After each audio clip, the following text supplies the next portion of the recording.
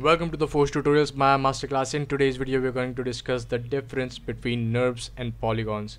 Now in Maya, there are two ways to create something. You can either model with NURBS or you can model with polygons. But the difference is the NURBS are made up of curves and the polygons are made up of flat planes or flat edges. For example, if I select the polygon sphere that we have in green right here uh, and I zoom in, you can see that the polygons are made of flat surfaces and flat edges and you can see the edges here.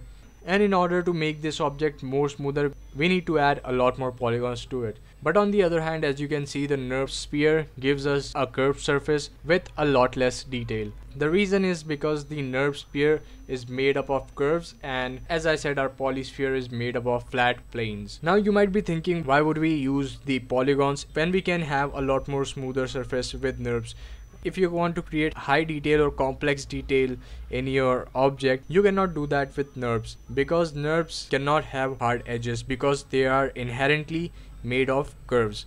So for example if I go to the components of our polygon sphere and if I go to the vertex mode you can see that I can affect one vertex without affecting any vertex around it but if I go to the components of our NURBS sphere and NURBS have completely different components compared to our polygon models it has control vertices uh, surface points and hulls and isoparm uh, so for example if we go to control vertices which is somewhat equivalent to vertices in our polygon model this is how control vertex looks. And and if you select few of the vertices you can see that it gives us really smooth deformations. And that can be beneficial when you're trying to model something that has a smooth even surface. For example you can create a wine glass with NURBS circle. You can create a vase. You can create a chess piece.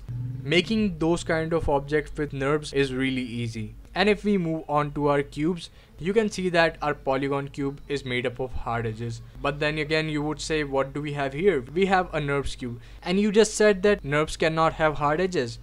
Well this is not a cube this is just four planes arranged together in a group. If we try to select this NURBS sphere and we click on it, you can see that we have selected only one side of the NURBS cube and if we move it, only one side of the NURBS cube will move. Now none of these four sides are joined together because if we were to join the sides together it will smooth the surface. But there is a place for NURBS modeling as well as polygon modeling within your workflow. Mostly when you're modeling you would be using your polygon modeling but when you want to model something that has a smooth surface like a bowl or as I said a chess piece a wine glass a bottle or a vase these are just a few examples of what you can achieve with NURBS. You can model those objects really really easily with NURBS. NURBS are used a lot when you're modeling a vehicle, a car, a bike because you can achieve smooth overall shapes with NURBS and then you can convert the NURBS to polygons and add more detail to it. While on the other hand if you're gonna make anything for let's say games, movies, animation or anything that's gonna go into production you're probably gonna stick mostly with the polygon modeling. And don't worry we're gonna go in detail in both polygon modeling and NURBS modeling within this course as we move forward.